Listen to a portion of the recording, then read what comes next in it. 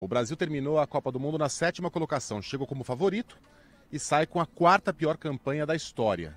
Né? Só melhor que a de 34, quando o Brasil ficou na 11 14 posição, depois de perder para a Espanha por 3 a 1 66, 66, quando ficou em 11 aí sim, depois de ser eliminado na primeira fase uhum, por Portugal. Portugal. E 1990, quando o Brasil terminou é, em nono, após ser eliminado pela Argentina. Nas oitavas. Na, de Maradonas nas oitavas, de Maradona nas oitavas de final. E Fábio, parecia que depois da eliminação, a seleção. A Argentina foi crescendo a cada jogo, né? Sim parecia que depois da eliminação o Brasil diminuía a cada partida. A gente via a Argentina e Holanda, a gente via Mbappé jogando pela França, os times eh, passando de fase, evoluindo, jogando cada vez maior.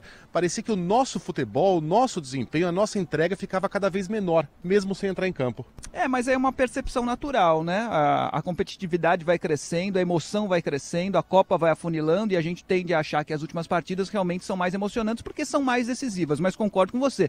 É, houve partidas extraordinárias. A Argentina e a Holanda foi extraordinária. A Argentina e a França é outra coisa, é, é outro nível, assim. É uma partida histórica, uma das maiores partidas da história do futebol.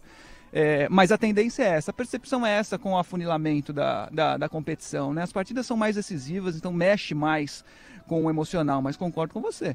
O Brasil ficou devendo, obviamente, ficou devendo. Se não tivesse ficado devendo, teria chegado até a final da competição, né? É, tinha tudo para chegar. É, eu sempre apontei Argentina, França e Brasil como as três favoritas à Copa do Mundo, né? Achava realmente que essas três seleções estavam na primeira prateleira, numa prateleira acima das demais. Esperava, claro, que o Brasil estivesse na final de ontem.